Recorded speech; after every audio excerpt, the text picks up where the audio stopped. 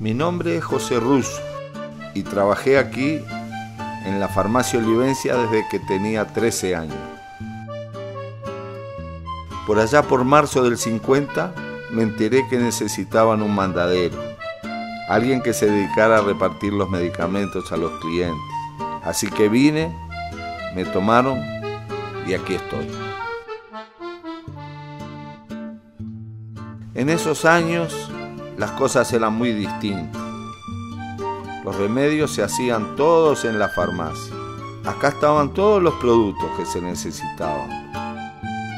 Los médicos recetaban la fórmula y con eso se preparaba el medicamento en distintas formas. Se preparaba en gotas, en jarabe, se hacían pildoritas y se preparaban las obleas. Yo observaba y de tanto ver cómo se hacían los preparados, terminé aprendiendo, así que después de un tiempo tomaron a otro mandadero y yo comencé a atender público y a preparar medicamentos. Esto era una fórmula antigripal.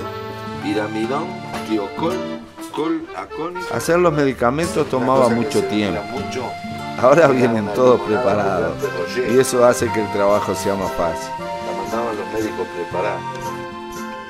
Vaselina, 10 gramos, solución adrenalina. Una de las cosas que aprendí con don Elías Olivencia fue que una farmacia es mucho más que un negocio.